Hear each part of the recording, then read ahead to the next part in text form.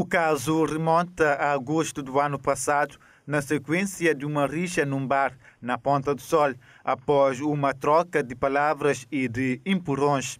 Uma fonte ligada ao tribunal explicou que Yuran Fonseca, conhecido como Marrak, de 26 anos, a quem foi aplicada a pena de 24 anos de prisão, a mesma foi anulada, pois, de acordo com o acórdão proferido pelo Tribunal da Relação do Parlamento, Marrak não agiu em coautoria com Emerson Martins, conhecido como Nhau.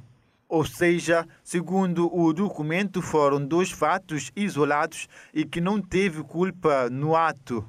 Nhau, de 25 anos, por seu lado, que fora condenado à pena de 20 anos de cadeia, a mesma foi reduzida para 12 anos, por entender o tribunal que o mesmo não praticou o crime de homicídio agravado, mas sim homicídio simples.